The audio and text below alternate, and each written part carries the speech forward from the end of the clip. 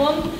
Ez a Csigabiga mesemondó verseny harmadik, negyedik osztályosok részére megrendezett fordulója. Nagyon sok szeretettel köszöntöm a zsűrit, Tóth Istvánné Mártikát, a Madárán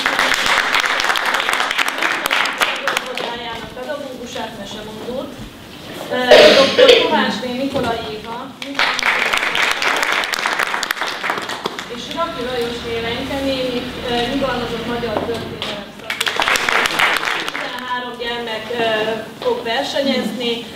mindenki sorszámot húzott, a sorszámok alapján fognak ide a színpadra lépni, és akkor egy szép délután kívánok mindenkinek. Az első számú gyermeket Nagy Donatellát várjuk szeretettel. Henrik Senkjevics, Sebők év átdolgozása, részlet tündérmese. Messze-messze, még az operenciás tengeren is túl, szép csodországban egy kis hercegnő született.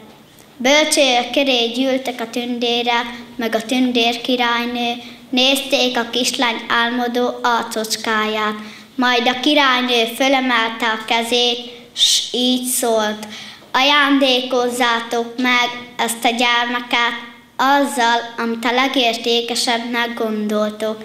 Az első tündér az ágya fölé hajolt, s ezt suttogta.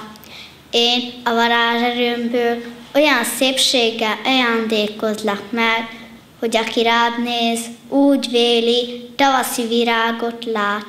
Én, mondta a második, olyan szemmel ajándékozlak meg, mely áttetsző és mély, mint a tenger kékje.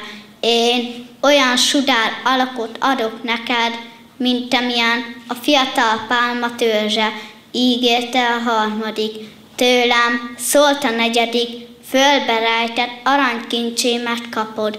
A tündér királynő elgondolkozott. Az emberek s a virágok szépsége elhárvat, mondta halkan. A szembűbája kihúnya az ifjúsággal, de fiatalon is gyakran borítja homályba a könyv. A szélviha derékba töri a pálmát, a hajlottkor meghajlítják, meghajlítja a karcsú alakot. Az emberek meggyűlölik azt, aki aranyát nem osztja szét köztük. Aki meg szétosztja, maga marad szegény. Semmi maradandót nem adtatok ennek a gyermeknek. De hát mi maradandó az emberben? Mivel ajándékozunk meg őt, te tündér királynő? kérdezték a többiek. Én jóságot ajándékozok neki, válaszolta mosolyogva a tündér királynő. A nap pompás és fényes, de csupán világító szikla volna, ha nem melegítené a földet. A szív jósága olyan, mint a nap melege, életet ad. Jóság nélkül olyan a szépség, mint illat nélkül a virág. Jóság nélkül a gazdagság csupán az önzés gondozója. Jóság nélkül még a szerelem is csak tűz, mely pusztít és éget. Tudjátok meg, hogy a ti ajándékaitok mulandók, de a jóság maradandó. Olyan akár a forrás, melyből minél többet merítesz, annál bőségesebben buzog. A jóság az egyetlen kiapadhatatlan kincs, s itt ráhajolt az alvó gyermekre, szívét gyengéden megérintette, s ezt suttogta, légy jó. Lepényeső. Egyszer volt, hol nem volt, Élt egyszer egy Miska nevű paraszt. Okos, csavaros észjárású ember volt. Amilyen furfangos volt Miska, olyan ostoba és pletykás volt a felesége. Soha nem mondott el neki semmilyen titkot, mert ha megtette, percek alatt az egész falu arról beszélt. Miska hajnalok hajnalán ment a földre dolgozni, és sötétben ért haza. Így tett egy szép napon is, mikor szántás közben az eke valami keménybe ütközött. Fogott egy ásót, és elkezdett ásni. Jó mélyen a földben egy csillogó, villogó fémládikát talált. Nagyon megörült, mikor felnyitotta a ládikó tetejét, nem hitt a szemének. Azt gondolta, ha hazaviszi, a felesége örömébe fűnek fának elmeséli, elmeséli, és jön majd valami hivatalos ember, és elviszi a ládikát. Törte a fejét, hogy mit csináljon. Visszatemette a ládikát, és megjelölte egy kővel. Hazatérve egész éjszaka csak forgolódott, nem jött álom a szemére. Reggel azonban a fejébe ötlött valami, szólt a feleségének. Délutánra kapd össze magad, megyünk az erdőbe halászni. Az erdőbe? Halászni? A halak a folyóba vannak, nem? kérdezte csodálkozva a felesége. Nem értette ezt. Ma olyan hideg lesz, hogy befagy a tó, és a halak behúzódnak a fák közé, válaszolta Miska. A felesége azon nyomban el is hitte. Miska egyenest a piacra ment. Vett néhány jókora halat, meg lepényeket, és kiment a földre. Ott fogott egy nyulat, és kikötötte a folyó parton egy bokorhoz. A halakat elszórta a füvön, és a maradék lepényeket felaggatta a fára. Dolga végeztével hazament. A felesége izgatottan várta, s Miska látta, hogy minden terv szerint alakul. Elmentek az erdőbe, és mondjott Miska a feleségének. Na látod? A halak behúzódtak a fák közé. Nem hazudok én neked? Mit is mondhatott erre az asszony? Szótlanul és csodálkozva szedegette a halakat. Hagyd most azokat a halakat! Én majd szedem a fáról a lepényeket, meg van itt még néhány hal de megkapd el őket. Hal és lepény a fán, megőrültél? Nem én őrültem meg, hanem te. Az előbb se hittél nekem. Nem tűnt fel, hogy az éjjel hal, meg lepény eső volt. Jó csomó hal meg lepény fennakadt a fákon. Miska dobálta a feleségének a halakat, hogy az alig bírta kapkodni. Elment a folyóhoz, fogta a nyulat, és oda vitte a feleségéhez. Nézd, fogtam egy nyulat a folyóba, nagy lakomás csapunk ma este. Süsd meg a nyulat a halakkal, na jól bevacsorázunk. Meglepődött a nyúlon az asszony, de hát látta, hogy az ura csak úgy puska nélkül fogta, ezért ezt is elhitte. Ezek után Miska kiásta a ládikát, és a feleségével együtt hazabandukolt. Mikor kérdezte, hogy mi van a ládikában, megmutatta. Az asszony majd elájult. A ládika tele volt aranyjal, ezüsttel és ékszerrel. Elrejtette a ládát. Az asszony meg gyorsan elkészült a nyullal és a sült hallal. Fenségesen belakmároztak, de az asszony sehogyan se fért a bőrébe. Az est az estét még csak-csak kibírta valahogy, de reggel már rohant a szomszédba, és csak mesélte, mesélte mindenkinek a nagy szerencséket. Ezzel meg is könnyebbült egy kisé. Másnapra már nem csak a falu aprán nagyja tudott a látikáról, hanem a városi elöljáró is. Ki is küldött Miskály házához rögtön egy adószedőt. Adjon Isten, mi áradban van itt nálunk? kérdezte az adószedőtől Miska. Tudomásunkra jutott, hogy talált a földjében egy aranyal ezüsttel teli ládikát. Igaz ez? Ez bíz nem igaz. Bár csak igaz lenne. Hazudsz! A feleséged mindenkinek elmondta, hogy találtok, találtatok egy ládát. Hív csak ide a feleséged? Hívta is a feleségét. Találtatok egy aranyal ezüsttel teli ládikát? Igenis, találtunk egy ládát, és tel is tele volt aranyjal meg ezüsttel. Férjecském, mi értelme van elhallgatni? Mérges lett erre az adószedő, és ráförmett Miskára. Ne hazudj nekem! A feleséged bevallotta. Kerítsd elő rögtön a ládikát, és add át nekem. Ha lenne ládika, odaadnám. Bolond az asszony. Kérdezze meg csak Kent, tőle, hogy mikor is találtuk a ládikát. Asszony, Mikor találtátok a ládikát? Mikor lepényeső esett? Akkor mentünk szüretelni a halakat meg a lepényeket a fáról. És az uram fogott egy úszkáló nyuszikát is a folyóból. Eléggé meglepődött ezen az adószedő, megszólal Miska. Mondtam én, bolond az asszony, Ken csak az idejét vesztegeti. Lepényeső, halszüret, úszkáló nyuszika. Ezt mind csak azért mondja, hogy az emberek ráfigyeljenek. A ládikát is csak úgy kitalálta.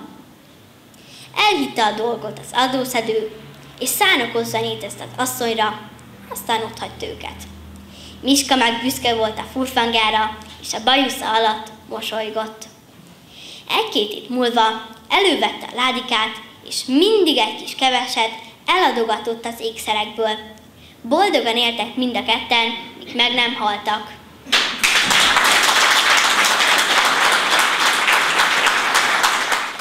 Vas Albert, csupa fej, a jégmadár, részlet. Egy napon elhatározták a tó madarai, hogy versenyt rendeznek.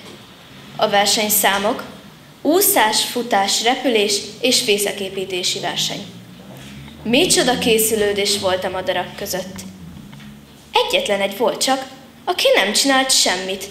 A kék tollú jégmadár, akinek csupa fej a neve. Hogyan akarsz te versenyezni, ha mindig csak egy helyben ülsz, és nem erősíted a lábaidat soha?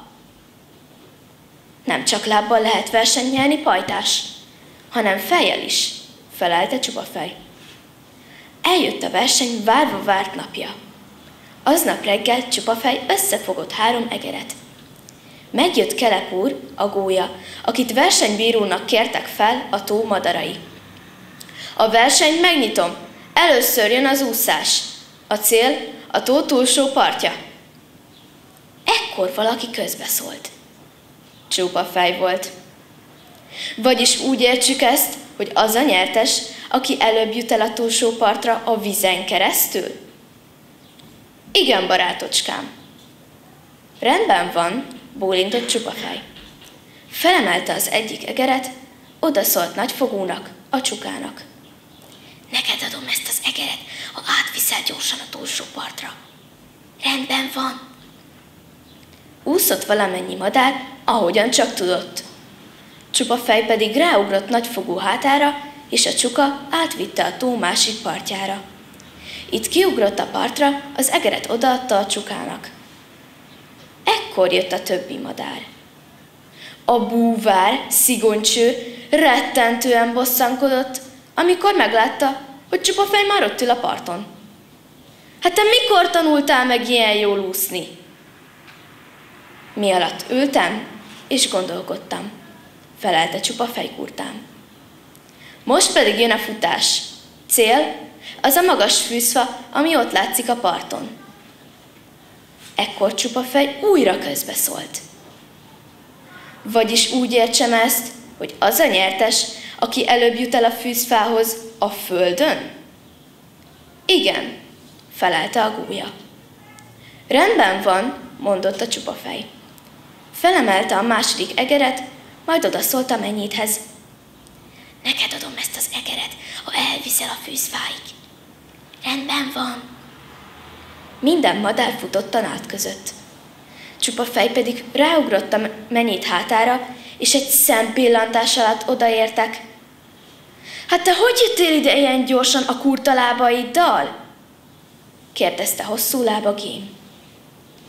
Fejjel is lehet szaladni, nem csak lábbal. Első csupa fej, második hosszú láb, harmadik piú a partfutó. Most pedig következik a repülés, jelentette be Kelep.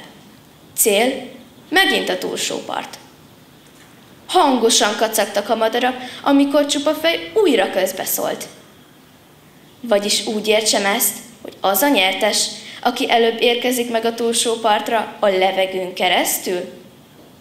Kacagott a gólya is. Igen, úgy értsed. Rendben van, mondott a csupafej. Felemelte a harmadik egeret, felszólt villámnak, a vércsének.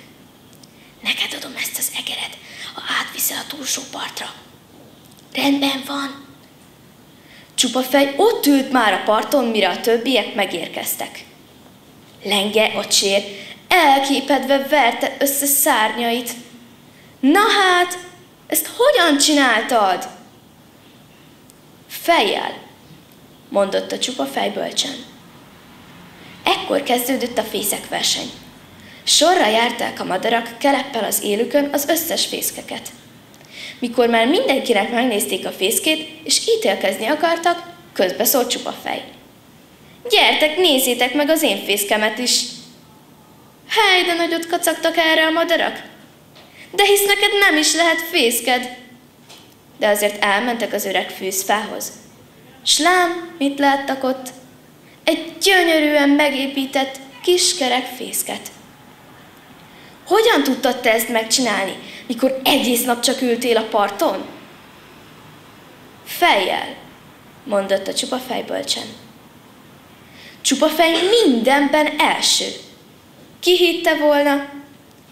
Kelep odalépett csupa fej elé, és átadta neki a négy díjat. Íme, vedd át a jutalmakat. Csupa fej pedig átvette a négy díjat, és így szólt a madarakhoz. Látjátok, barátaim, hogy nem csak lábból, szárnyal és ügyességgel lehet első valaki, hanem fejjel is, és éppen ezért nem szabad csúfolódni azzal, aki gondolkozik. Lám, ez éppen jó lecke volt nektek. Mert bizony megmondom, hogy nem én úszom a legjobban közöttetek, hanem szigoncső, és így őt illeti meg az első díj ebben. Azzal átadta szigoncsőrnek az úszásért járó első díjat. Másodszor a leggyorsabb futó sem én vagyok, hanem hosszú láb barátunkat illeti érte az első díj. Azzal átadta hosszú lábnak az első díjat, ami a futásért járt neki. Továbbá a leggyorsabb repülő sem én vagyok, hanem Krek, a sárszalonka. Azzal átnyújtotta Kreknek a repülésért járó díjat. Végül a fészeképítésben sem én vagyok a mester, hanem hószakál, és ez a szép palást valóban megilleti őt. Csak azt akartam ezzel megmutatni nektek, hogy gondolkodással is lehet valamire vinni. A madarak pedig múlt felett csodálkoztak, s nem értették, és nem értik ma sem, hogyha csupa fej nem tud úszni, nem tud futni, nem tud repülni, és nem tud fészket építeni, akkor hogyan lehetett mégis mindenben első? Ma sem értik, és ezért vágnak néha olyan ostoba és csodálkozó arcot, ha ez a dolog az eszükbe jut. Varga Katalin, az okos kisnyúl és az oktondi pocok. A kisnyúl és a pocok szomszédok voltak. Mind a kettő takaros kis kuckót épített. A kuckóra erős ajtó került, nehogy ragadozó törhessen be a kis lakókhoz. A kisnyúl még egy szellőztető nyílás is épített a kuckó bejárata fölé. Nevette is érte a pocok eleget. Oktondi vagy, kis pocok, oktatta őt a nyúl. Ez a szellőztető nyílás biztosítja számomra a jó levegőt, még télen is. S ha valaki kopog, a nyíláson keresztül láthatom, ki az. Mi szükség van erre? legyintette az oktondi kis pocok. Ha valaki kopog, kinyitom az ajtót, és megnézem, ki az. És ha a róka, vagy más ragadozó kopogna, ó, őket azonnal felismerném a járásukról és a hangjukról. Történt pedig, hogy a róka egy téli napon vadászatra indult. Bejárta az erdőt, a rétre is kimerészkedett, de egy árva bogarat sem talált. Hosszas szimatolás után rátalált a nyúlkuckóra. Bekopogott. Ki van odakün? kérdezte a kis nyúl. A ravasz róka vékony nyúlfi hangon sírni kezdett. Esik a hó, bőrig áztam, egész éjjel így fáztam, szegény vándor nyuszi vagyok, erezbe, mert majd megfagyok. Elnye, de furcsa hangod van, gyanakodott a kis nyúl, a szokatlanul hosszú sírás hallatán. A róka tovább sírt, tovább jaj veszékelt. Meghűltem, jaj, fáj a torkom, csipet mézem sincsen otthon. Kérlek, testvér, erez be, róka jár a sűrűben. Csizmát húzok, várj egy csöppet, válaszolta az okos kisnyúl, és óvatosan felkapaszkodott az előszető nyíláshoz. Hát látja ám a ravasz rókát, hogy ott táncol kuckója előtt.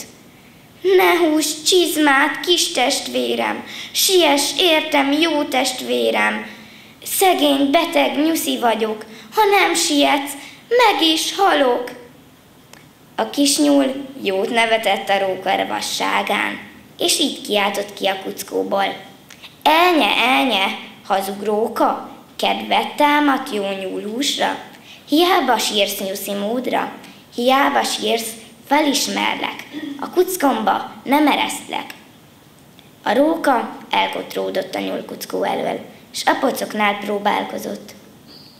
Halkan, finoman kopogtatott, és mint egy valóságos mezei pocok, cincogni kezdett. Cin, cin, cin, cin, bőrig áztam, esik a hú, jaj, átfáztam, szegény vándor pocok vagyok, erez be, mert könny megfagyok. A pocok kicsit furcsálta ezt a hangos cincogást, és így kiáltott ki a kuckóból. Elnye, de furcsa hangod van. A róka tovább sírt, tovább cincogott. Meghűltem, jaj, fáj a torkom, csipet mézem sincsen otthon. Kérlek, testvér, erez be, megfagyok a hidegben. A kis pocok azonban még mindig gyanakodott. Csizmát húzok, várj egy csöppet, húzta az időt. A róka a legszelédebb pocok hangon kérlelte. Ne húzz csizmát, kis testvérem, siess, értem, jó testvérem. Róka jár a sűrűben, tüstént megfog, erez be! No, gondolta az oktondi kis pocok, ha ennyire fél a rókától, akkor csak igazat mondhat. Kinyitotta az ajtót. Ez kellett a rókának. Nyakon csípte az oktondi kis pockot, és már vitte is. Lázár Ervin, a kék, meg a sárga. Egyszer két festékpötty, egy kék, meg egy sárga, egymás mellé esett a papírra. Egészen közel a szélük összeért. Nem menne kicsit távolabb? kérdezte ingerülten a kék. Menjen maga, válaszolta a sárga, s különben is, talán köszönne. Ezzel hátat is fordított volna, mert a kéket parasztos színnek tartotta. Csak hát ez a festékpöttyöknél nehéz ügy, mert sem odébb menni, sem hátat fordítani nem igen tudnak. Még hogy én köszönjek egy sárgának, morgott fitymálóan a kék, és bizonyára levigyeztette volna a szája szélét, ha lett volna neki. Talán csak nem azt akarja mondani, hogy nekem kellene előre köszönnöm. De azt, ha nem látná, én a kék vagyok. Engedjen meg, hogy fölkacagjak, mondta gúnyosan a sárga, hiszen maga a legközönségesebb szín a világon. Nem is lehet egy napon említeni velem, és legyen szíves, ne könyököljön az oldalamba. Először is maga könyököl az én oldalamba, másodszor pedig én színezem az eget, a tengert, a vizeket, a legszebb virágok kékek, és az emberi szemek közül is. A kékek a legszebbek. Képzeljen el egy sárga szemű embert, brrr, vagy sárga vizet. Egyáltalán hogy mer megszólalni mellettem? Mindig tudtam, hogy nagyon közönséges, de hogy ennyire mégis csak túlzás. még hogy a kék virágok a legszebbek. Látod már maga kankalint, meg őszi erdőt? Maga túl mohó, beszínezi az egész eget, meg a tengert, csupa kék mindenütt. Unalmas. Én mértéktartó vagyok. Sosem válok unalmassá. Kérem, ez mégiscsak disznóság, most már egészen belém mászik. Árnyalatokban rejtőzöm, kis foltokban jelenek meg, s egyébként is, ha nem tudná, én az Okker családból származom. Okker, erre vág fel, az is egy család. Az én őseim sokkal előkelőbbek, Például sosem lenne közülük senki olyan tolakodó, mint maga. Tudja meg, hogy én az ultramarin vagyok. Ha, kezdte a replikát, egy színészi felkiáltással a sárga, de akkor különben már rég összefolyt a két festékpötty, de nem volt ideje befejezni a mondatot, mert a kisfiú, akinek az esetjéről lehullottak, Meglátta őket, és így szólt. Nicsak, milyen szép zöld pötty! Grimm mese, a Schuster Manói. Volt egyszer egy Schuster, értette a mesterségét, szorgalmasan dolgozott. Hogy, hogy nem, a végén mégis úgy tönkrement, hogy nem maradt egyebe, mint egyetlen pár cipőre való bőre. Abból este kiszabta a cipőt, hogy majd másnap elkészíti. Tiszta volt a lelki ismerete, nem sokat emésztette magát a jövendőn, gondolta, tisztességes ember nem csak, nem pusztul éhen. Lefeküdt és békességgel elaludt. Másnap jókorán fölkelt, és neki akart ülni a munkájának. Hát, ott állt készen az asztalon a párcipő, a suszter ámult, bámult, nem tudta, mit szóljon a dologhoz. Kezébe vette a cipőt, alaposan végignézte. Nem volt azon semmi hiba. Hamarosan vevő is érkezett. Nagyon megtetszett neki a cipő. Fölpróbálta. Éppen ráér lett a lábára. Mintha csak nekem készítették volna, mondta örvendezve, és mert úgy találta, a Schuster keveset kér érte, valamivel többet adott az áránál. Pontosan annyit, hogy éppen két párda való bőr tellett ki belőle. A Schuster este ezeket is szépen kiszabta. A többi munkát majd megcsinálom holnap reggel, gondolta. Ráérek a dolgomtól. De mire másnap fölkelt, azt a két pár cipőt is készen találta. Neki a kis ujját csak kellett megmozdítania. Vevő is akadt mind a kettőre, jól megfizettek értük, s a Schuster a pénzen most már négy párda való bőrt vásárolhatott. Harmadnap reggel is készen találta a négy pár cipőt, és így ment ez napról napra, hétről hétre. Amit este kiszabott, az másnapra elkészült. A cipész hamarosan tisztes jövedelemre tett szert, és ismét jó módú ember lett belőle. Egy este, szokása szerint ismét kiszabta a másnapi cipőkhöz a bört. Aztán, mielőtt lefeküdtek, azt mondta a feleségének. Hallod a lelkem, mi lenne, ha ma éjszaka fönnmaradnánk, s meglesnénk? Ki az, aki ilyen szorgalmasan segít nekünk a műhelyünkben? Az asszony ráállt a dologra, mécses gyújtott, és föltette a szekrény tetejére. Aztán elbújtak a sarokba.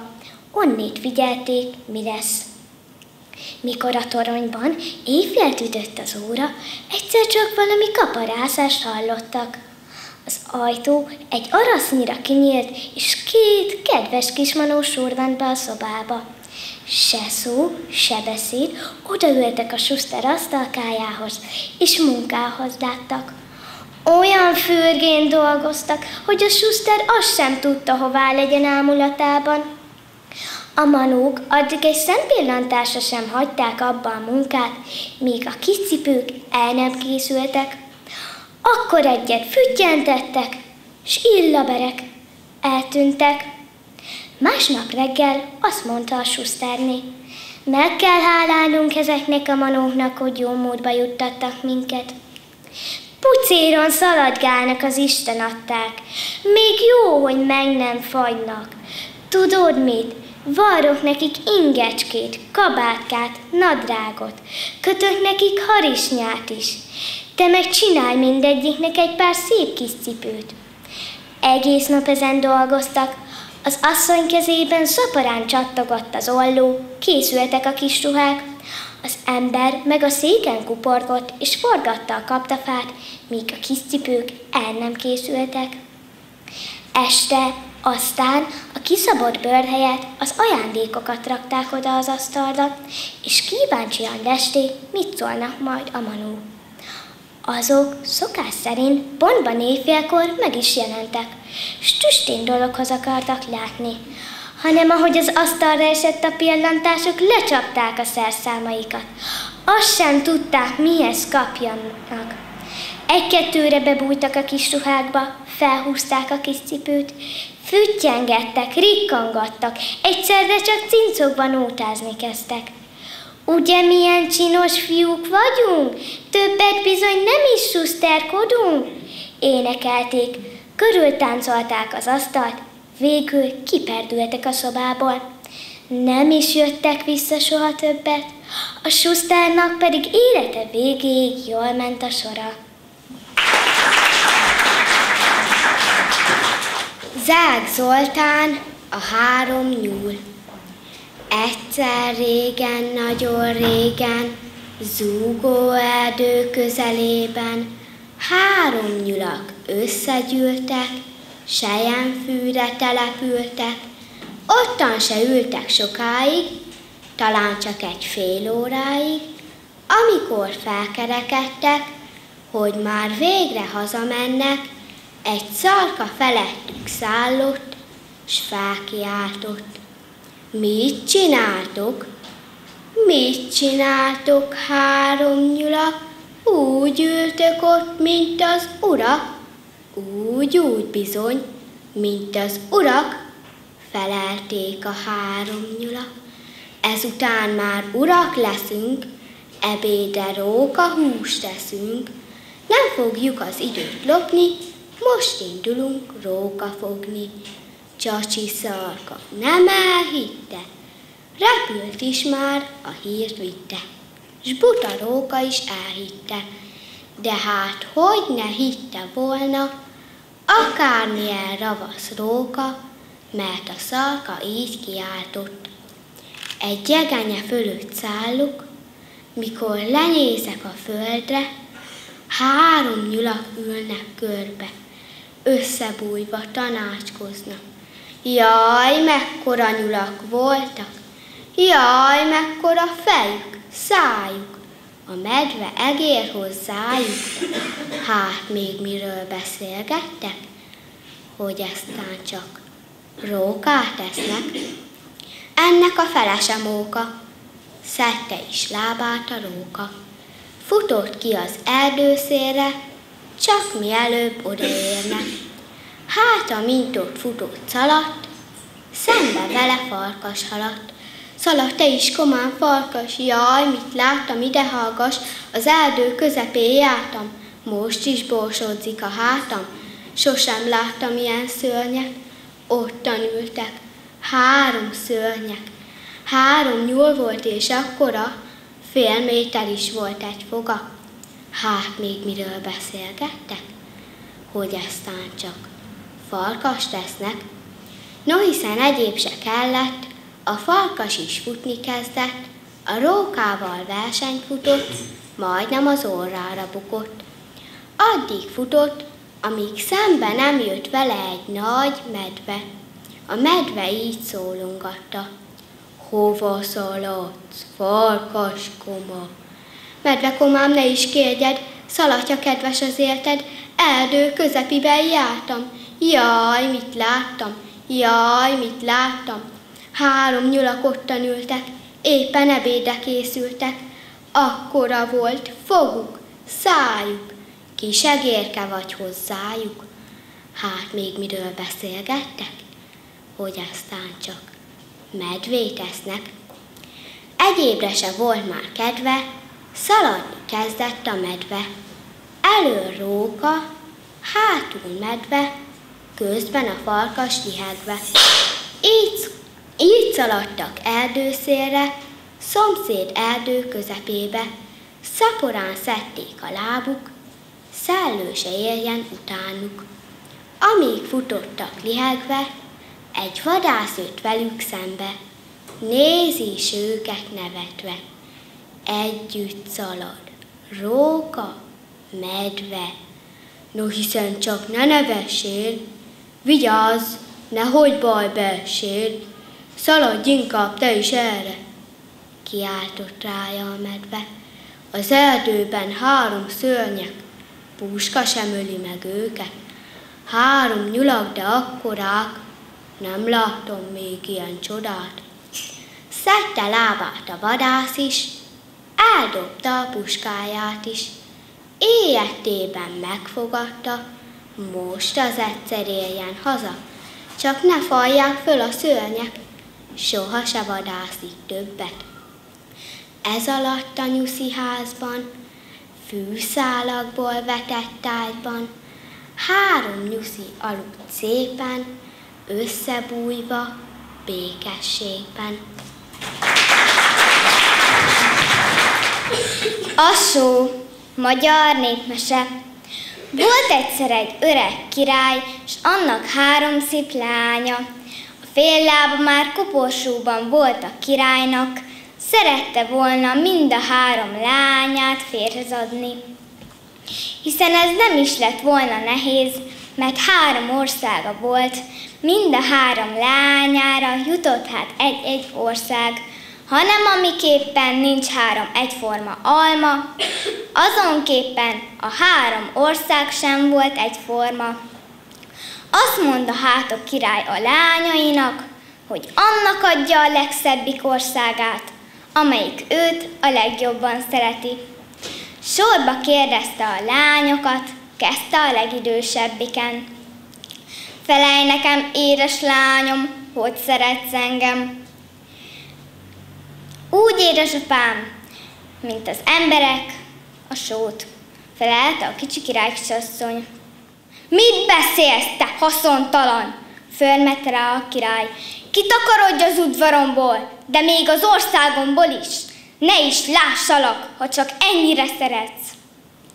Hiába sírt könyörgött a király kisasszony, hiába magyarázta, hogy az emberek így, meg úgy szeretik a sót, nem volt kegyelem, világá kellett mennie. Elindult hát keserves sírás közt a kicsi királykisasszony, s betévett egy rengeteg erdőbe. Onnan nem is tudott kivergődni, szállás vert egy odvas fában, s kikiált az erdőbe, szedett epret, málát, magyarót, s amit csak talált, úgy érdegélt egymagában.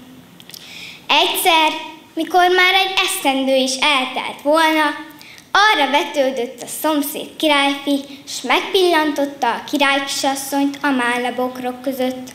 De a királykisasszony is észrevette a királyfit, s nagy ilyetten beszaladt a fa odvába. Utána megy a királyfi, és beszól. Ki van itt? Királykisasszony meghúzódott az oduban, reszketett, mint a nyárfalevél, s egy szó nem sok, annyit sem, annyit sem szólt. Újra kérdi a királyfi, Hé, ki van itt? Embere vagy ördög, mert mindjárt lövök. De már erre megijedt szörnyen a királykisasszony, s kibújt a fa odvából, nagy szipókba szepegve.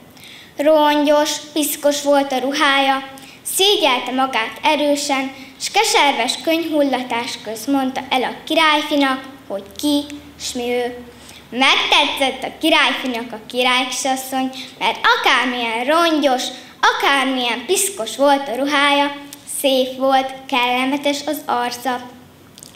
Szép gyöngén megfogta a kezét, Hazavezette a palotájába, ott felöltöztette aranyos gyémántos ruhába, s kétetet sem várt, de még egyet sem. Azt gondolom, hogy még egy napot sem, de talán még egy órát sem.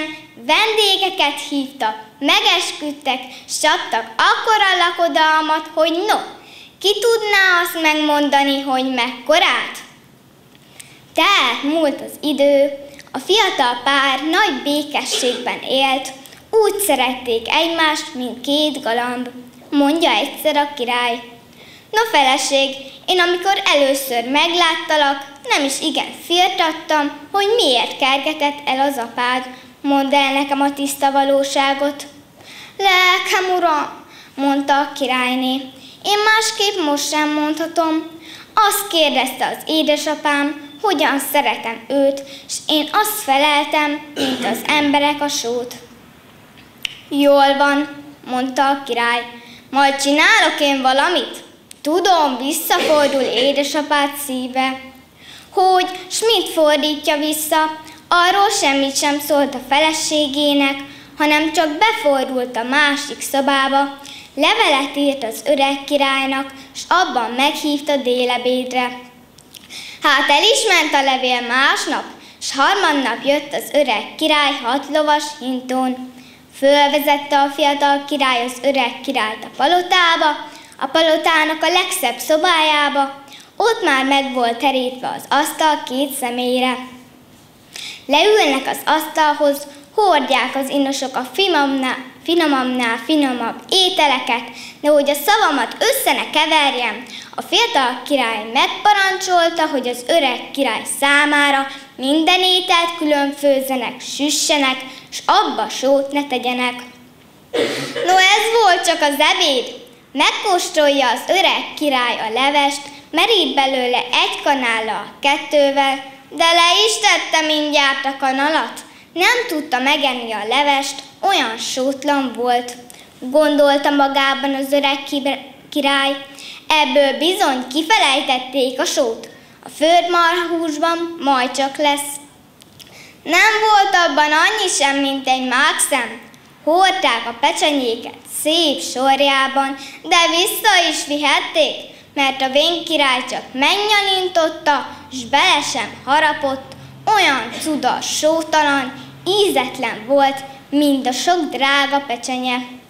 De már ezt nem állhatta meg szó nélkül az öreg király. Hallod, öcsém, hát miféle szakácson van neked, hogy só nélkül süt főz? Sóval süt főz az máskor mindig felséges bátyám uram, de én azt hallottam, hogy bátyám uram nem szereti a sót. Megparancsoltam hát, hogy fejét védetem, ha egy más szemsót is tesz az ételekbe. No, öcsém, ezt ugyancsak rosszul tetted, mert én erősen szeretem a sót. Kitől hallottad, hogy nem szeretem? Én bizony éppen a kigyelmed lányától felséges bátyám uram, mondta a fiatal király. Abban a szent pillantásban megnyílik az ajtó, belép a királyné, az öreg király legkisebbik lánya.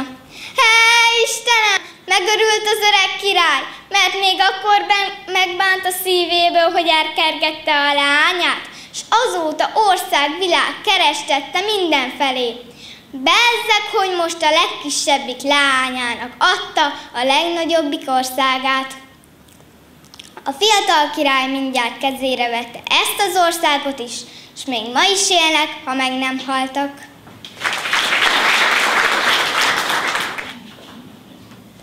Molnár Andrea, virágverseny. A virágok már réges-régen betölkedtek egymással. Mindegyikük azon igyekezett, hogy szebb legyen a többinél. A rózsa úgy vélte, hogy eddig minden virágtársat sikerült túlszárnyalnia, ezért azt javasolta, hogy rendezzenek virágversenyt, azon döntsék el, melyikük a leggyönyörűségesebb. Mindenki helyeselt, Egyedül a bogáncs volt más, véleményem. Ti mindannyian a legszebbek vagytok. Minek versenyeznétek? Szólt halkam. Persze lehúrogták. Azért van a verseny ellen, mert tudja, neki csak is ez utolsó, a legeslegutolsó hely juthat. Eldöntötték, hogy igenis versengeni fognak. Csak azt kellett még eldönteni, ki legyen a versenybíró. Az elbízakodott Rózsa azt javasolta, hogy legyen az első arra járó. Javaslatát elfogadták, s várakozni kezdtek. Nagy sokára léptek doba hangzott, s megjelent az első arra járó. Egy csacsi. A füles körülnézett. Szemügyre vette a virágokat, amelyek megfeszített erővel igyekeztek virítani, illatozni, felül múlják egymást. Tekintete végül a bogáns esett. Boldogan feljázott örömében, mert a bogáncsot találta a legétvágygerjesztőbbnek. Oda is kozott hozzá, és jó ízűen befalatozott belőle. A virágok sápadoztak, hogy a csúf bogáncs így lefőzte őket, és kijelentették, hogy a csacsi egy nagy szamár, egy ítélete nem mérvadó. Más döntőbíró kell. Mondjuk az első arra vetődő ember. Délután járt már ezt ő, mikor arra vetődött az első ember. Egy kisgyerek. Nem sejtette, nem sejtette, hogy ő most döntő bíró, ellenben játszani szeretett volna. És se a rózsa, se a lilium, se a pipacs nem látszott alkalmas játékszernek. Ellenben megpillantotta a bogáncot, és felragyogott a szeme. Jaj, de nagyszerű! Tépett róla egy marokra való bogáncsot, és vicces, mókás tükereket kezdett kiformálni belőlük. Kis kádat, aztán kerek koszorút, aztán négy bogácslábon álló bumfordi állatot.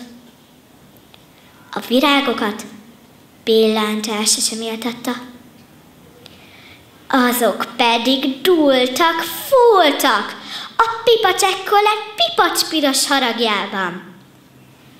És kijelentették, ez nem is egy ember volt, hanem csak egy gyerek. Így ítélete nem érvényes. Alkonyatájt arra repült, a szépséges pávaszem pillangó. Felkérték döntőbírónak.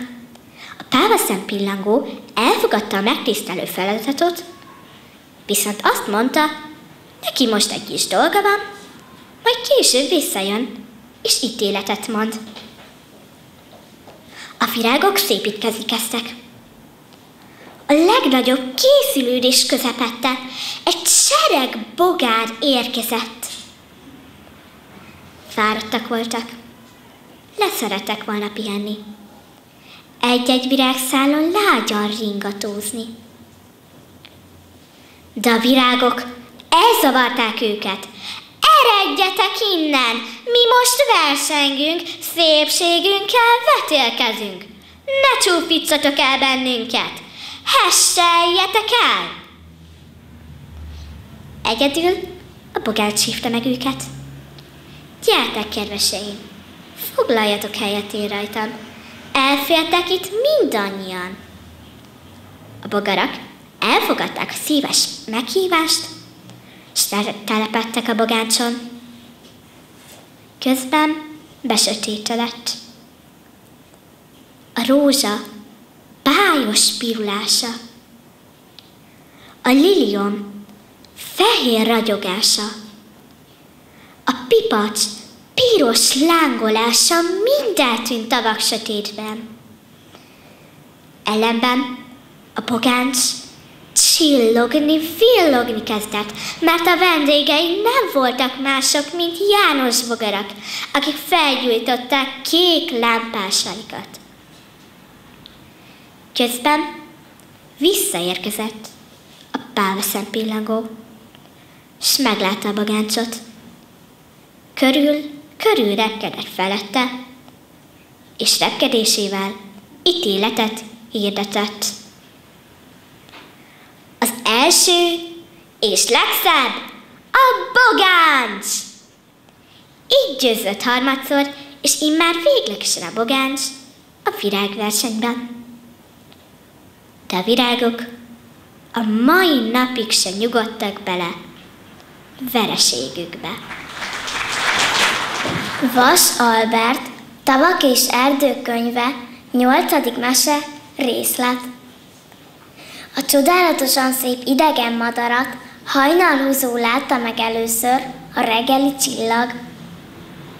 Fehér volt az idegen madár, de olyan fehér, hogy ragyogott, mint az ezüst. A madarak mind felütötték a fejüket, és mind figyeltek. Soha még olyan szépet nem láttak, mint amilyen gyönyörűen szép az idegen madár volt. Legeslegelsőnek hosszú lábakém szólította meg. Ki vagy te, csodálatos rokon? És honnan jössz, hogy sohasem láttunk eddig? Kúcsagnak neveznek, és az angyalok madara vagyok. Velem küldik el a jóságot és a békességet. Azért vagy hát olyan fehér. Azért vagyok olyan fehér. Ebben a percben kilebbent a nád közül egy jelentéktelen kis szürkegém, akit Bakcsónak neveztek, és lelkendezve mondta, milyen szép vagy!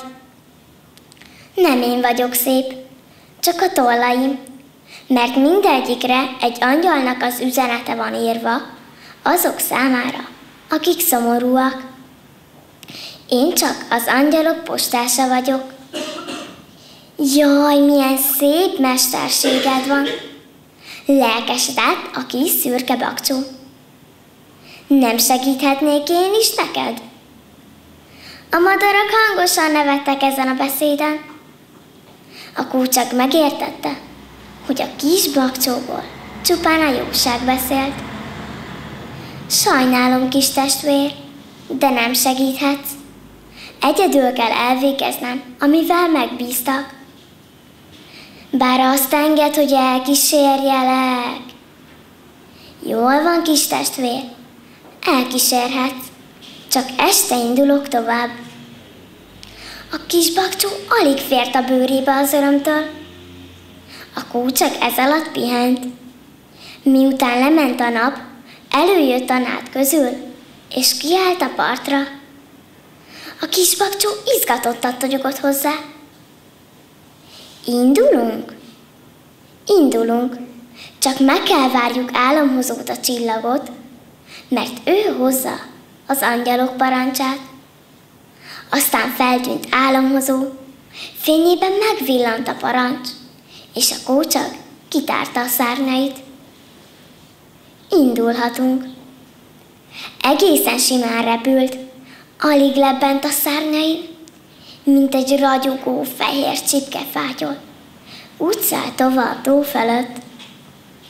A kis bakcsó szaporán verdesett mellette a szárnyaival. Hova megyünk először? Meglátod, a falu felé szálltak, ahol az emberek laktak.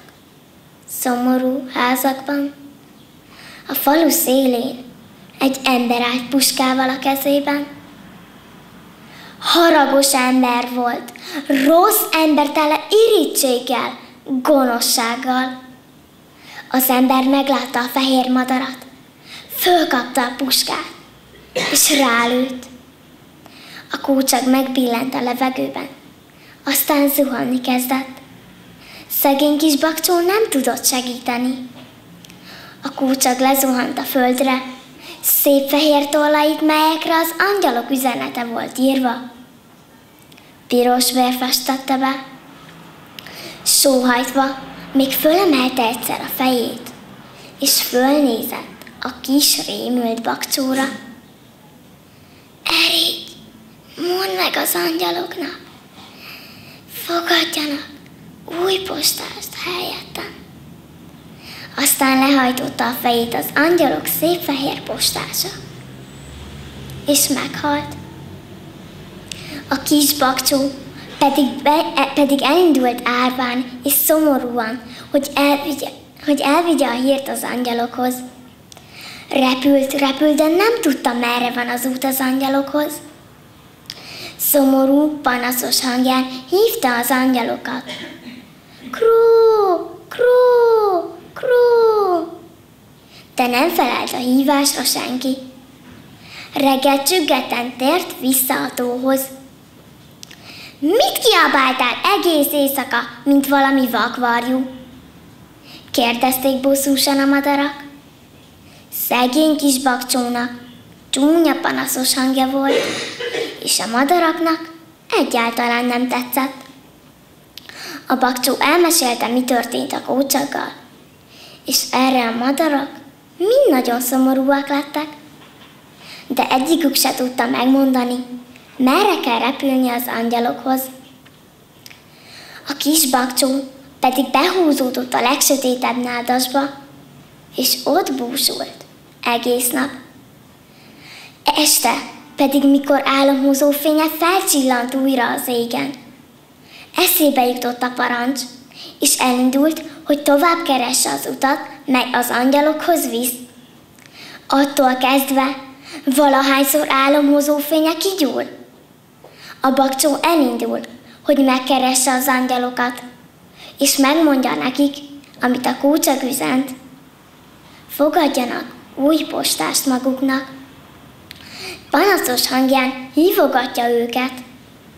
Kró, kró, kró. Az emberek vakvarjúnak csúfolják szegényt. De te ugye nem fogod csúfolni? Ha egyszer későbben ott ér az este, valahol a tavak mellett, s meglátod felcsillani álomhozót. De tudni fogod, hogy most indul el szegény megkeresni az angyalokhoz vezető utat. Nem láthatod őt, mert nagyon magasan kóvályog, hiszen az ég magasan van, és ott valahol kell legyen az út.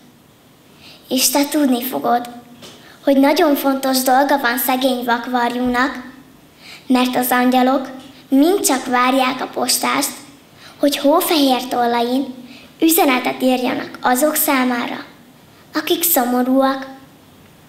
Gondolhatod, hogy azóta sok üzennivalójuk gyűlt össze. Felső Tiszai népmese Meddig ér a rátóti legény? Egyszer, amikor még mindent trőfelmértek, volt egy nagy falu, úgy hívták, hogy Rátót. Ebben a faluban nem lakott más, csak Rátóti. Így hát a falubeli asszonyoknak nem kellett nagyon messzire menniük, hogy megmérjék, meddig ér a rátóti legény. Meddig is ér hát a rátóti legény? Van, aki azt mondja, hogy a feje búbjáig. Van, aki azt mondja, hogy addig, ameddig föl tudja nyújtani a kezét. Na, már most legyen okos az ember. Hogyan is lehetne azt megtudni, hogy meddig is ér a rátóti legény? Hát úgy, hogy meg kell mérni. Így gondolták a rátóti asszonyok is. De egy baj megint van, mégpedig az, hogy nem egy rátóti legény van, hanem hatvanhat. Nincs más hátra, meg kell mérni egyet. Itt van a Janó, mérjük meg őt, mondták az asszonyok. Így került Janóra a választás, mert amit két asszony akar, az mindig sikerül, hát még ha 77 asszony akarja, mert hogy a faluban éppen ennyi asszony volt.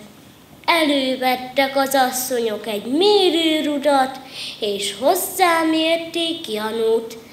De hol a mérőrúd csúszott el Janó elől, hol Janó ugrott el a mérőrúttól, mert igen csiklandozta a gerincét. Ez így nem lesz jó, így nem lehet megtudni, hogy meddig ér a rátóti legény. Mást kell próbálni. Elvitték Janót a paphoz. Tisztelendő úr, kérték az asszonyok a papot. Tessen már mondani egy misét, hát ha akkor könnyebb lesz megmérni ezt a legényt. Jót kacagott a pap, csak úgy rengett a hasa. Megmérem én Janót mise nélkül is, csak engedjétek el hozzám egy napra. Kimegyünk kapálni a hegyre. Janó másnap reggel elment a paphoz. Kiballagtak a hegyre, a szőlőbe. Ott jól beszalonnáztak a körtefa tövében, aztán aludtak egy kicsit a fűben. Elfáradtak, mert meredek volt a hegy, és a szalonna is megfeküdte a gyomrukat. Attól a jóféle bortól is elálmosodtak, amit a szalonnára ittak. Arra ébredtek, hogy a hasukra süt a nap. Kapálj már, te Janó! Bíztatta a pap. Lemegy a nap, aztán még nem is kapáltál. Hadd menjen a nap a maga útján, majd holnap, mert ma már nincs kedvem hozzá. Nincs? Mérgelődött meg a pap. Na majd lesz. Azzal keresett egy magyaróbokrot, metszett róla egy szép hajló vesszőt, suhintott vele kettőt, hármat a levegőbe, erre már Janó is fölfigyelt. Mit akar azzal a veszővel, tisztelendő atyám? kérdezte aggódva. Majd meglátod mindjárt. Azzal odalépett a heverő Janóhoz, és ismét azt mondta, Kapálj már te, Janó! Lemegy a nap, aztán még nem is kapáltál. Hadd menjen a nap a maga járásán, majd holnap, mert ma már nincs kedvem hozzá. Nincs? Hát akkor fordulj a hasadra. Miért forduljak, tisztelendő atyám? Csak fordulj! Janó nyögve a hasára fordult, mert még ez a kis munka is nehezére esett. A pap meg négyet, ötöt ráhúzott az ülepére. Jó nagyokat eltört a vesző. Jaj! kiáltott föl Janó. Nem érjem maga azzal a veszővel, akkor már inkább az asszonyok mérjenek azzal a rúttal. Ha nem ízlik a magyaró vesző, hát kapálj, te világlustája, mert ha nem, a kapanyéllel mérlek meg. Ugrottam Janó, kapta a kapát, estére egy szágaz, nem sok, annyi sem volt. Éppen lebukott a nap a hegy mögött, mikorra Janó végzett. Holdvilágnál értek le a faluba. Tudja-e már, tisztelendő úr, mekkora a rátóti legény? Hogy ne tudnám. Első nap egy magyaróvesző, második nap már kettő, harmadik nap már a rövid kapanyél is elég. Nem nagyon értették az asszonyok, de nem mertek kérdezősködni.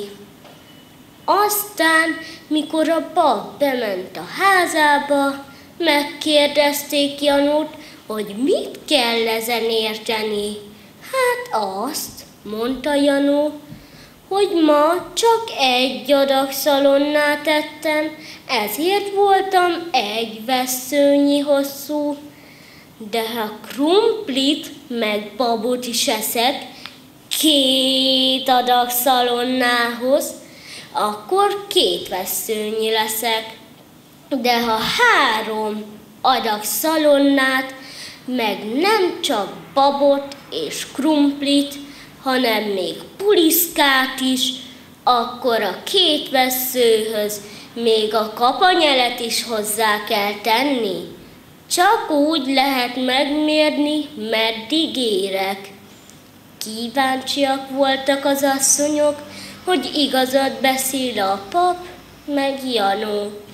Ezért hát 77 asszony, 77 kosárban vitte Janónak a babot, krumplit, puliszkalisztet, meg a nagy oldalszalonnákat, mert igen-igen szerették volna tudni, meddig ér a rátóti legény. Ti mit gondoltok? Megtudták-e valaha is? A buta oroszlánkölyök. Élt egyszer egy oroszlánkölyök. Nagyon kicsi volt és nagyon nehéz felfogású. És mivel percenként legalább ezer kérdést tett fel, szitta őt eleget szigarú mamája. Egy ízben, séta közben ismeretlen állattal találkozott.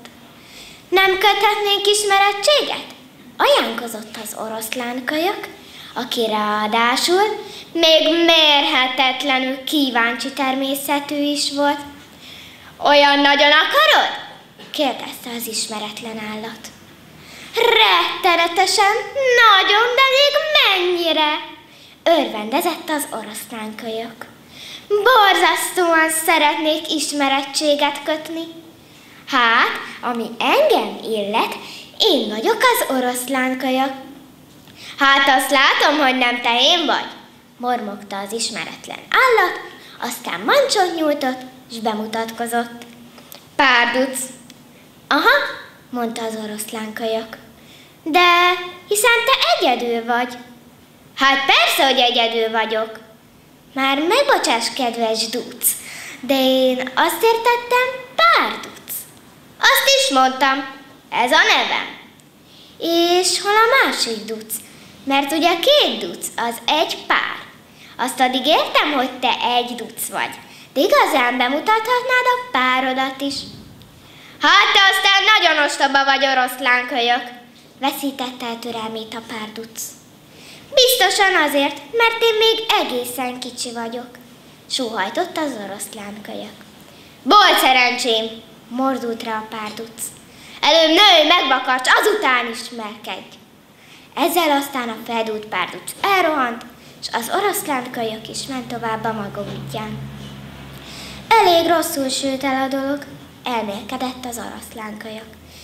Én csupa jó szándékkal közeledtem hozzá, ő pedig megsértődött. Ki érti ezt? Hát, ahogy ballak tovább, szembe jön vele hegyes szarvú fürgelábú. Szerbusz, milyen kellemes találkozás! Köszönt rá az oroszlánkölyök. Szervusz, oroszlánkölyök! Üdvözölte hegyes szarvú fürgelábú. Na hát, te ismersz engem? Én mindenkit ismerek. És benned kit tisztelhetek? kérdezte az oroszlánkölyök. Nos, én vagyok az antilop. Ezt már tudhatnád, mormogta hegyes szarvú fürgelábú. Még soha nem hallottam rólad, ismerte be az oroszlánkölyök. Már megbocsáss, kedves, ö, ö, ö, izi, hogy is hívnak? Már mondtam, antilop. Akkor mégis jól hallottam, kedves Anti. De én a te helyedben nem beszélnék erről a csúnya dologról. Mi mondasz, csöpség? Milyen csúnya dolgot emlegetsz? Tudod, Anti, lopni nem szabad. Szép-szép, hogy beismered, de jobban tennéd, ha egyszer, s mindenkorra leszoknál róla. Még hogy én lopok? Háborodott, háborodott fel az antilop. Ezt a pimasságot nem tűröm, hogy miért is álltam szóba egy ilyen ostoba jószággal. Az antilop mérgesen dobbantott egyet a patájával, és elszáguldott. Szegény kis oroszlánkölyök nagyon elszomorodott. Rettentően sajnált önmagát. Csak tudnám, miért haragudtak meg rám. Mindegyik ostobának nevezett, pedig lehet, hogy okosabb vagyok náluk. Egyszer csak azt látja, hogy egy kő kibújik, kicsi zöld és farka van. Hová-hová oroszlánkölyök? Sehova, csak úgy sétálgatok. Felelte az oroszlánkölyök. Hát te meg ki vagy? Én egyik vagyok. Örvendek a szerencsének, de kérlek, mondd meg, hol a másik? Milyen másik? Csodálkozott a gyík. Azt mondtad, hogy te vagy az egyik. Akkor biztos kell lenni egy másiknak is. Hű, milyen ostoba vagy oroszlánkölyök! Szörnyűködött a gyík, és egy szempillantás alatt eltűnt kedvenc köve alatt. Állt áldogált értetlenül az oroszlánkölyök, és egyszer csak elindult hazafelé. Gonterhelten töprengett. Vagy én vagyok a buta, vagy ezek az állatok ostobák. Ez a duc, ez az anti, meg ez az egyik. Talán jobb lesz, ha mégis megkérdezem a mamát. Ő mindent tud. Móra Ferenc, Csíki szűr.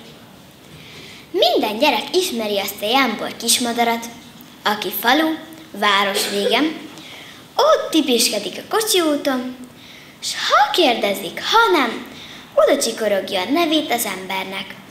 Pipis, pipis, pipis, és közben illegeti-billegeti farkacskáját, jobbra-balra tekergeti a nyakát, és végül fölmereszti fején lévő tolbó vitecskáját. Olyan ez ő nála, mint mikor mi, emberek, illendőségből levesszük a kalapunkat. De miért is van a pipiskének olyan kis tolbóbita a fején, amilyen egyik atyafiának sincsen? Se a pacsirtának, se a fülemülének. Hát azért, mert a Jóisten úgy teremtette, mondjátok ti erre, ugye? Pedig nem úgy van ám az. Amikor a Jóisten megteremtette a pipiskét, neki is olyan szép símára volt fésülve a feje, mint a pacsirtának vagy a fülemülének. Nem is tetszett ez a pipiskének. Gondolkozott is, mit kezdjen az ő sima fejével. Végül oda tibegett a jóisten elé. Uram teremtőm, csipogja neki. Miért nincs legalább akkora fülem, mint a füles bagolynak? A jóisten elmosődött, és kezébe vette a picinke madarat. Jaj, pipiske, a füles bagoly se ingyen kaptál ezeket a nagy füleket. Éjjel-nappal mindig, de mindig tanult, és a tudománytól nőtt meg neki ekkorára a füle. No, a pipiskének se kellett több, egyszeriben elrepült a jóisten tenyeréről, és meg sem állt addig az odvas tölgyfáig, ahol a füles bagoly lakott. Az most is kint ült a küszöbön, és rettentő komolyan olvasott egy óriási tölgyfalevelet. Annyira, de annyira belevetette magát az olvasásba, hogy csak harmadjára hallotta meg az alázatosan hajlongó pipiske köszöntését. Jó reggelt, bagolymester! Bagolymester letette a levelet, és felvette a pápa szemét. Jó reggelt, szarka! Alig ismertem rád. Nem a szarka vagyok én, hanem a pipiske. Hát persze, hogy a pipiske vagy. Tudtam én azt mindjárt. Tudok én mindent. Azt is tudom, hogy mi áradban vagy. Bizonyára ki akar szívni sétálni. Én nem sétálni szeretnék, bagolymester, hanem beszeretnék állni hozzád inasnak, hát ha rám ragadna valami a tudományodból. Ugye megmondtam, örvendezett a bagoly. Ahogy az erdő színen lebegtél, már rögtön tudtam. Hát ez a pipiske bizonyára tudományt akar tanulni tőlem. De gyere be, majd ott megalkuszunk. Az alku könnyen ment, Pipiske megígérte, hogy minden reggel tisztára törli a bagolymester pápa szemét. Bagolymester pedig megfogadta, hogy mindenre, de mindenre megtanítja a pipiskét, amit csak ő tud. Na kezdjük is el, buzgolkodott a bagoly, és előhúzott a könyvtárából egy óriási fakérget. Jól ide hallgass, mert ezt egy nagyon híres íródeák szerkesztette. A szú. Pipiske majd ledermet a kíváncsiságtól, ahogy bagolymester az első sorra helyezte a mutatóját. Ez az első sor azt kérdezi, mi a legjobb télen a hideg ellen. A második sor megfelel rá.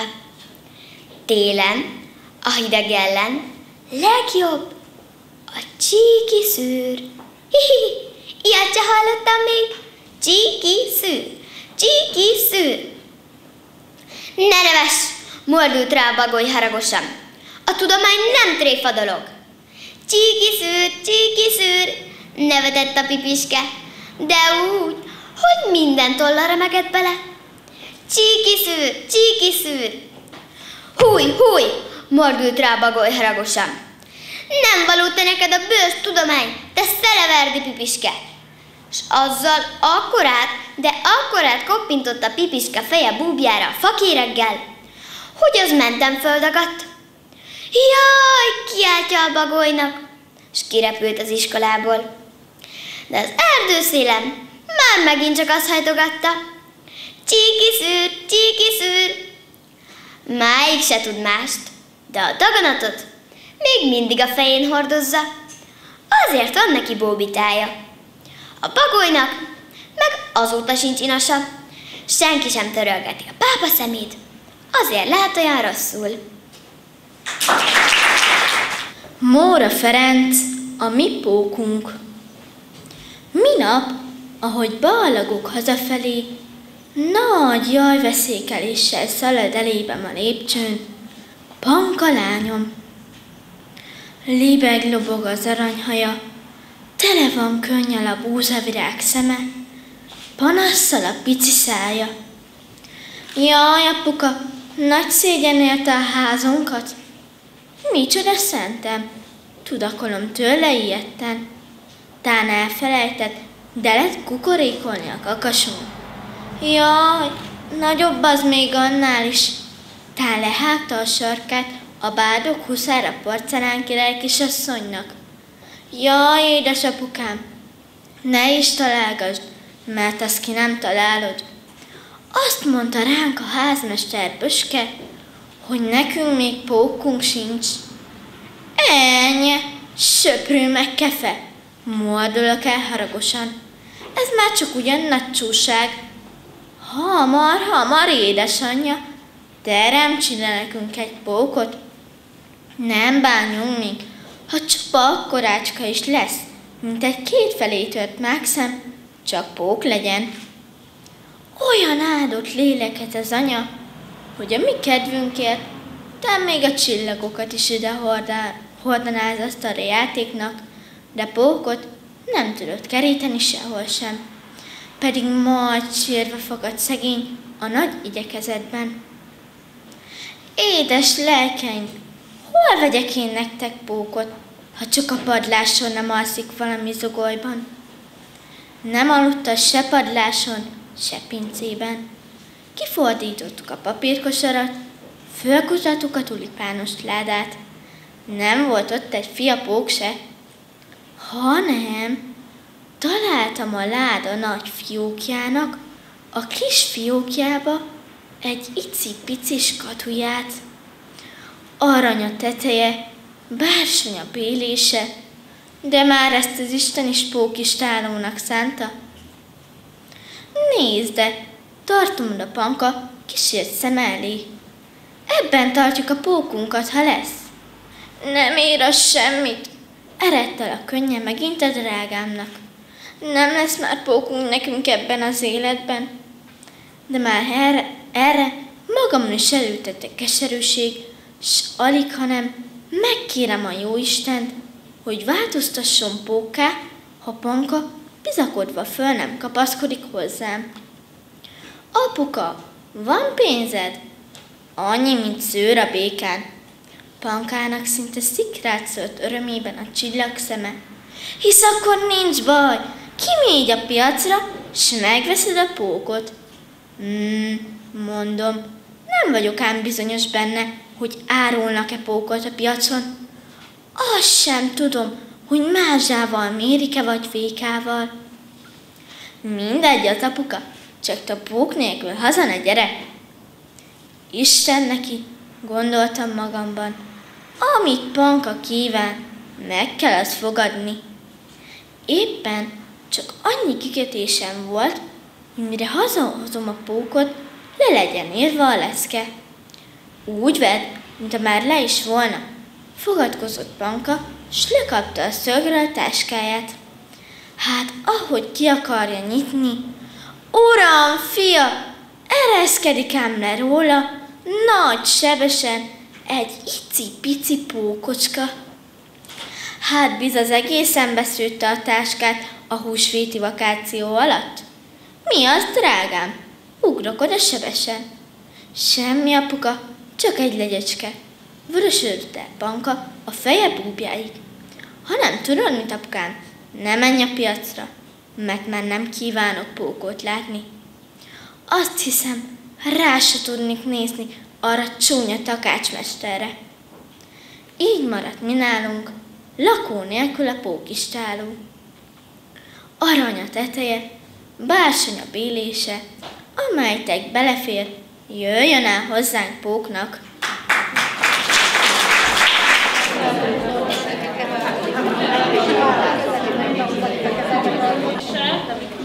És szeretném felkérni a zsűri elnökét, Tóth Istvánné Mártikát, hogy ismertesse a döntésüket. Hát köszönöm szépen a szót és a megtiszteltetést, nem vagyok a szavak emberei, civil, de nekem ahhoz meg kell tanulni valamit. Hát először is mindig azt halljátok, vagy azt hallják a versenyzők, egy verseny vége, hogy a zsűri nehéz helyzetben volt.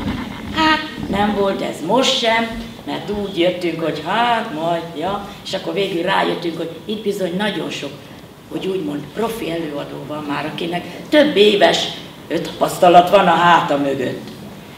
Ehhez még hozzájárult, hogy nagyon jók voltak a meseválasztások, a történetválasztások, és erre hívnám fel a figyelmeteket, elsősorban nektek gyerekek, hiszen látszik az, amikor valamit kedvel mondunk, amikor értjük, amit mondunk, ami nekünk való. Mert nagyon szép történetek és mesék vannak, de nem biztos, hogy az egyik gyermeknek jól áll és ő érti, a másiknak viszont lehet, hogy szerencsésebb lenne sokszor egy egyszerű mese, lehet, hogy nagyobbat szól, mint egy olyan komoly, megfontolt írás. Erre hívnám csak fel a figyelmeteket, de erre is ma remek példákat látunk, hogy hogyan lehet ezt jól átadni. Aztán még van egy veszőparipám, ezért ne haragudjatok, és tanárnéniknek is mondanám, minden évben Beregfürdőn. Csíkos Sándor, kiváló művész, a zsűri elnök a Nagykun vers és prózamondó versenynek. És ez a veszőparipája, hogy a magyar nyelv ereszkedő hangsúlyú, és hiába kérdezünk, azt is lefele engedjük. Hol voltál akkor? Igen, tehát borzasztó. És sajnos ezt látjuk a tévében, ez folyik a szappanoperákból, a sorozatokból, hogy ne így beszéljünk, mi magyarok vagyunk, és ezt vigyük tovább, hogy a magyar nyelv ereszkedik. Lehet kérdezni, de az is lefelé megy. Én csak ennyit szerettem volna, és azt, hogy köszönjük szépen zsűri társaimmal együtt ezt a délutánt, amely a fáradtságos munka után is mindig felemelő érzéssel tölt el bennünket, és olyan energiát ad és élményt, amit tovább vihetünk a mindennapjaink során. Én gratulálok mindenkinek most. Köszönöm. Szeretnénk átadni, mindenki kap egy emléklapot, és a művelődésház jóvoltából egy-egy mozi jegyet, amin kívánjuk, hogy nagyon jól érezzétek magatokat, Először az emléklapok átadására kerül sor, és azért megkérnélek benneteket, hogy amikor kijöttök, mutatkozzatok be, és mondjátok el, melyik iskolából jöttetek, és ki volt a felkészítő tanárnénitek, vagy tanárbácsitok. Tudjuk bemutatkozni már nem fontos, mert úgy szólítunk benneteket. Először, de nem utoljára szólítom, Beregszászi Flórát.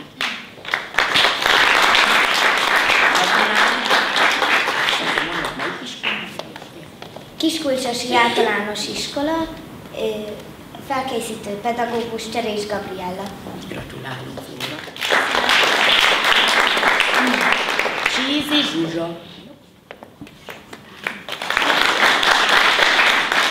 A Karcagi Nagykor református általános iskolával, és a felkészítő pedig Ankonin.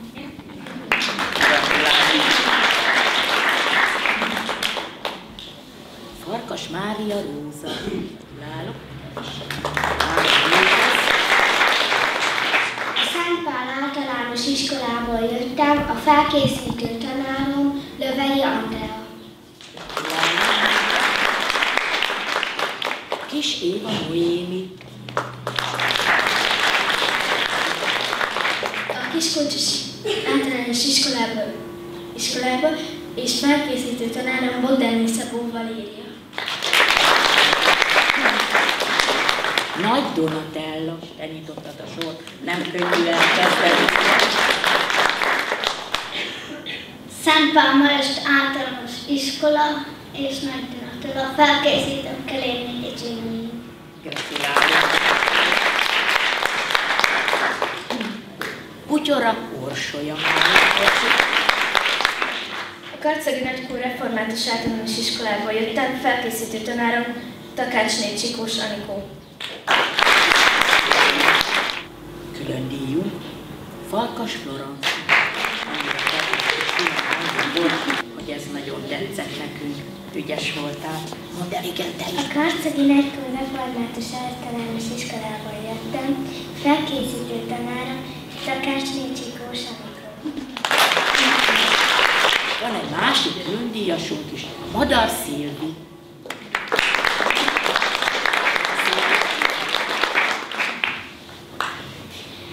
Györfi István általános katolikus általános iskolából jöttem, felkészítő tanárom Csinálni Bokó Éva.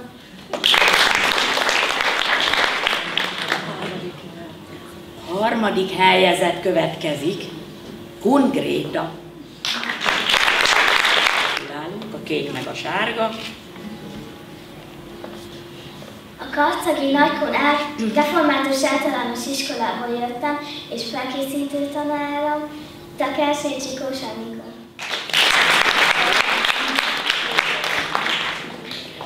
Még van egy harmadik helyezettünk, Birizló Csenge.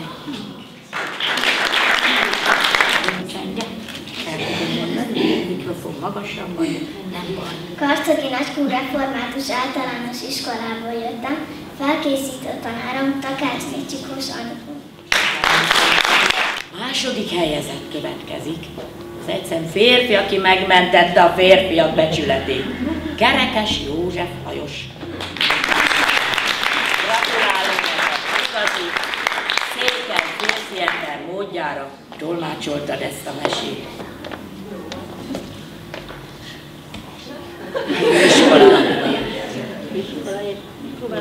Kovács Mihály általános iskola tagintézménye. Felkészítünk Kis Ferencné. Második helyezett következik Szakály Dóra.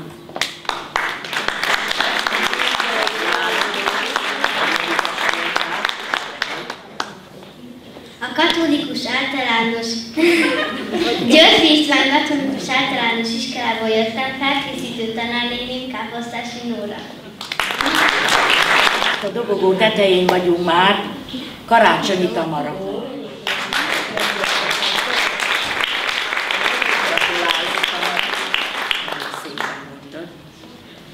Györfi István katolikus általános iskola, felkészítő tanárom Palagi Bernadett.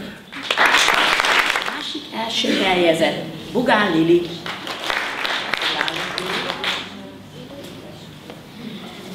Reforma, Karcagi Református Általános Iskola felkészítő tanárom Takás Nézsikósan.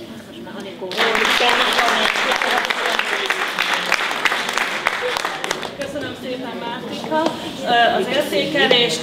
Gratulálok mindenkinek, egy nagyon szép délutánunk volt. Köszöntöm Önöket, Tóth Istváni Mártikával beszélgetek, hiszen a Csigai Makalota mesemondó versenynek a legnagyobb korcsoportjának ön volt a zsűri elnöke. Mondhatjuk, hogy nagyon jó másfél órát töltöttünk együtt, hiszen gyönyörű meséket hallhattunk. A zsűrinek más voltak a szempontjai, mint nézőknek, de hogyan tetszett a verseny? Igen, köszönöm a lehetőséget. Valóban így igaz, nagyon kellemes délután töltöttünk, a gyerekeknek köszönhetően nagyon szép meséket, történeteket hallhattunk, és itt említetted, hogy a zsűri szempontjai mások egy kicsit, de azért mi is arra próbálunk figyelni, hogy leköti a figyelmünket, mennyire érdekesen adják elő a gyermekek ezeket a nagyon szépen és szövegpontosan betanult meséket. A mai napon nagyon jó meseválasztásokkal találkoztunk, amire föl is hívtam a gyermekek figyelmét és a pedagógusok figyelmét is, hogy nagyon fontos. Nem muszáj mindig egy nagyon nehéz, bonyolult, hosszú mesét választani, hiszen ők még csak gyerekek, és sokszor egy egyszerű, tréfás, kis huncut mesével nagyobb sikert lehet elérni, mint egy ilyen bonyolultabb, nehéz témájú történettel. A mai napon ezekre nagyon szép példát találtunk a jó meseválasztásokra, ennek köszönhetően töltöttünk el nagyon kellemes másfél órát, és feltöltődve, élményekkel gazdagodva mehetünk tovább. Ilyenkor én azt gondolom, hogy a mesemondó az picit megint másként nézi. Van esetleg olyan mese, ami most megtetszett, és esetleg az oviban majd hallani lehet a gyerekeknek? Feltétlenül. Mindig elviszem ezt a papírt, amit itt kapok, mikor zsűrizek, hiszen olyan jó kis történetek, mesék kerülnek felszínre, amiket nem ismerek én sem. És most is van, amit már megjegyeztem, és viszem, a megkeresem, és akkor lehet, hogy valamelyik évben egy felnőtt mesemondón előadom, hiszen nagyon szeretek mesélni felnőtteknek, főleg a vicces, humoros történeteket, de az óvodában is van, amire gondoltam, hogy ezt meg fogom mutatni a csoportnak is. Hát akkor kívánjuk az óvisoknak is, hogy ők is hallgassák meg ezeket a meséket, és akkor találkozunk a következő vers és prózamondó versenyen, ami 23-án Beregfürdőben van. Így van, köszönöm szépen én is a lehetőséget, és várunk mindenkit szeretettel. Bogán beszélgetek, aki első lett a mai versenyen. Nem az első alkalom már ez, azt gondolom, hogy már rutinos mes és mesemondó is vagy. Most egy nagyon szép mesét hallottunk. Elárulhatok egy kis titkot, anya mondta, hogy tulajdonképpen három napig csak válogattátok ezt a mesét, mire megtaláltad. Miért ezt a mesét választottad? Hát, mert ezt tetszett úgy meg, meg úgy... Hát, más annyira nem tetszett, mint ez. Miről szólt a meséd? Hogy volt egy kismadár, aki tudományt akar tanulni, vagy valami, nem szerette volna, hogy bóvitája legyen, és ezért megkérdezte jó Isten, hogy neki miért nincs akkora füle, mint akár a fülesbogolynak, és hát a fülesbogolynak ugye azért volt akkora füle, mert hogy tudomány nagyon-nagyon sok ész volt a fejébe, és ezért ő is szeretett volna tudományt tanulni, de hát nem sikerült neki. Tehát ezt mondtad el viccesen, de egyébként ahogy én hallgattalak itt a nézős, nézők között, élvezted nagyon a mesét, tehát átélted, tudtad, hogy miről szól. Gondolom, hogy azért ezt sokat gyakoroltátok. Igen. Nagyon. Van kedvenc meséd? Van. Melyik az? Hát a Csobán Tiagár. És az miért? Hát mert tavaly ezt mondtam a mesemondon, azzal első lettem, és hát mert egy kutyusról szól. Akkor látom, hogy az állatok azok nagyon közel vannak hozzád. Általában ilyen meséket választasz? Igen. És azt is mondhatjuk, hogy a 13-as számot húztad. Én láttam, hogy amikor ezt kihúztad a sorszámot, picit ugye összerezzentél, de anyáig biztattak, hogy ez nagyon jó szám. Utána megnyugodtál, és tényleg koncentráltál a mesemondásra, igaz? Igen, meg azért is, mert anyának a szerencse száma. Hát akkor mind a kettőtöknek szerencsét hozott ez a mai nap. Én még sok szép hasonló szép sikert kívánok neked, és azért áruljuk el a tesódról is, hogy ő pedig tegnap lett első. Őt hogy hívják, és mit kell róla tudni? Hát Bugán Luciának hívják, és hát ő tegnap első lett. És ő még ö, alatta gyert, tehát ő az első másodikos kategóriában indult. Igen.